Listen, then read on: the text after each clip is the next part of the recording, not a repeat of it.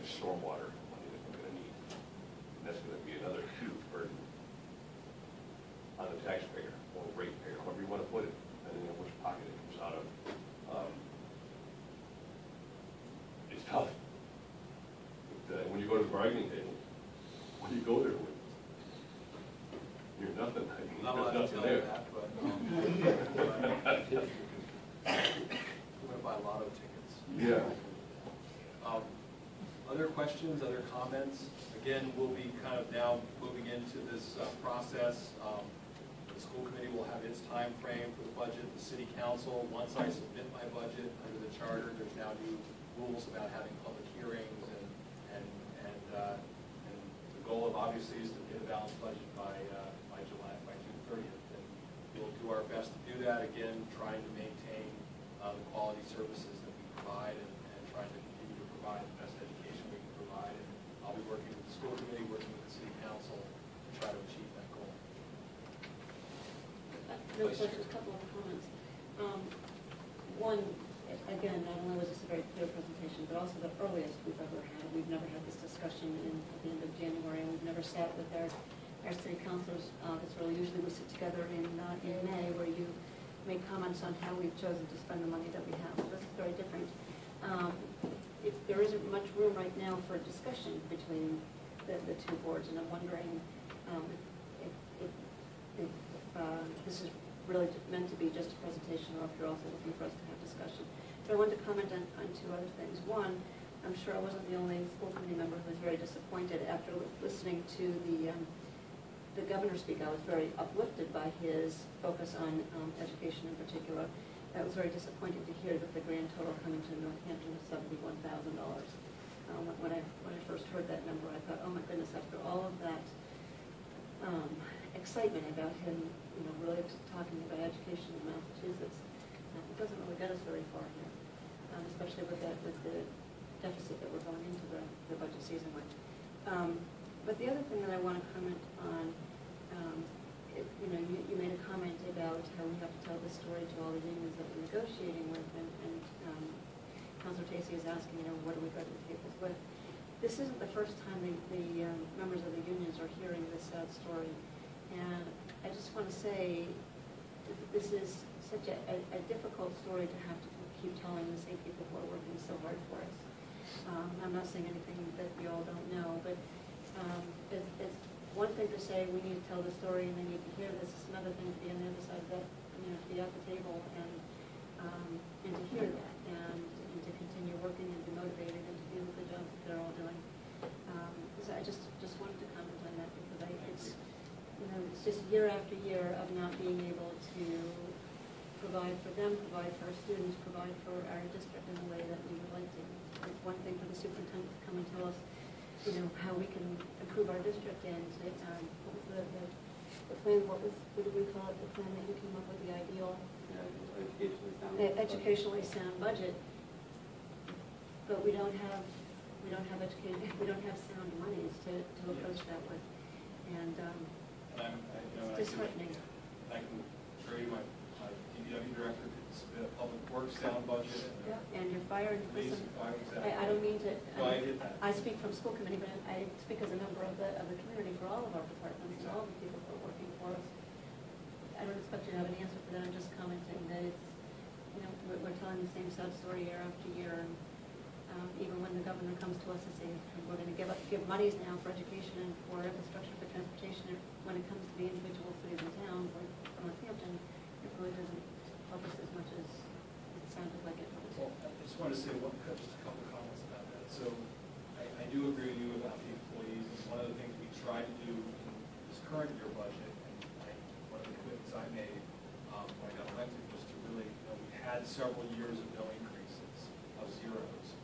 Try to provide, uh, you know, reasonable increases, um, you know, very, very small, but at least show that we're trying to, uh, we understand the sacrifices they've made. I know on the school side, same thing occurred. Um, And so, you know, again, you know, all we can do is sort of show people the picture that we're working with.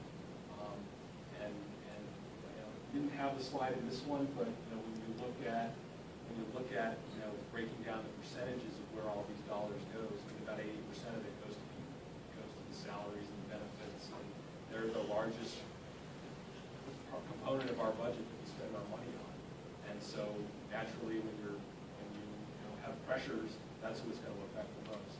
Um, and I, you know, we we have uh, outside agencies that are constantly trying to lure away good people with higher pay, neighboring states. Uh, at a newscast in some police department in New Braintree that was offering huge bonuses, trying to attract people. Um, It's a very competitive environment. Um, I happen to think that Northampton is a great city to work for, we have a great school system to work in, but your point is well taken. On the chapter seventy thing, we're still trying to unpack the formula a little bit, but they're, they're, they're trying to do some additional things in addition to just giving normal chapter seventy.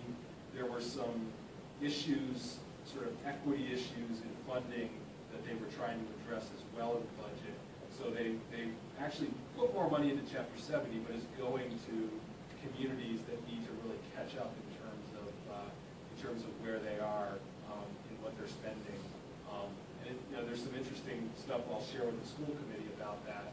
Um, some, some slideshows that kind of depict how those, uh, formula budgets have played out. And in fact, in some cases, they're raising the amount that school districts are now required, uh, to spend on education without giving them commensurate amount of aid. Um, We were at, at at the Mass Municipal Association weekend, uh, meeting this weekend, uh, with a bunch of selectmen, and, and everyone was kind of dissecting the budget. I think the town of Weymouth, uh, the way the governor's budget played out against just the governor's preliminary budget, they were gonna have to come up with like an additional two million dollars in school spending to meet their minimum requirement, and they were getting about two hundred thousand chapter seventy. Um, So, you know, a lot of it comes back to those formulas, but those formulas go back to nineteen ninety-three and the, the ruling that, you know, Massachusetts needed to provide, you know, a a level playing field in terms of education funding. So we're still bound by those formulas that were set back in nineteen ninety-three, which don't always provide a a modern snapshot of, of of what it costs to provide education. So that's a whole separate lobbying piece that we always talk about. Um, But it's very difficult to change those formulas because anytime you change it, it may help one town, but it's going to affect another town. So. The council president. Another way of looking at this, and maybe this is more optimistic, putting a better spin on it, but the, the governor's allocation to us is a reflection of how well we're doing, which is, you know, you're rewarded by behaving well, that we're not, and the, the, the communities that are failing are the ones that are obviously in greater need, would be one way of looking at it.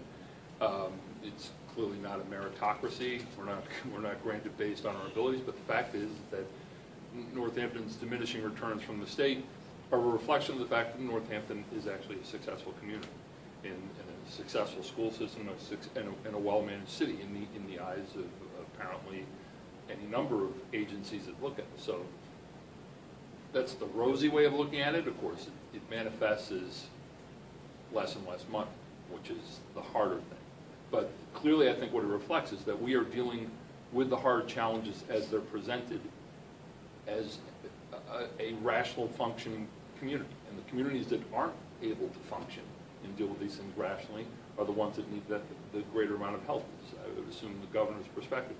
So we're doing a very good job. And we have been challenged like this, as, as Councilor Tacy said, this is a broken record. The point of fact is, we've been challenged like this for decades. And as such, and I think we've met that challenge every time to our credit, very well.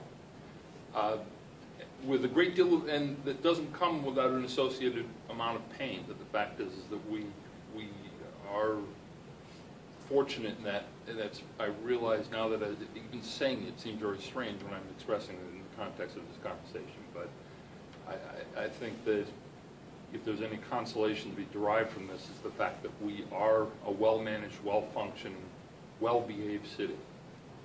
And, and we're doing a good job. Any other comments or questions? Murphy? I'm just gonna move to adjourn.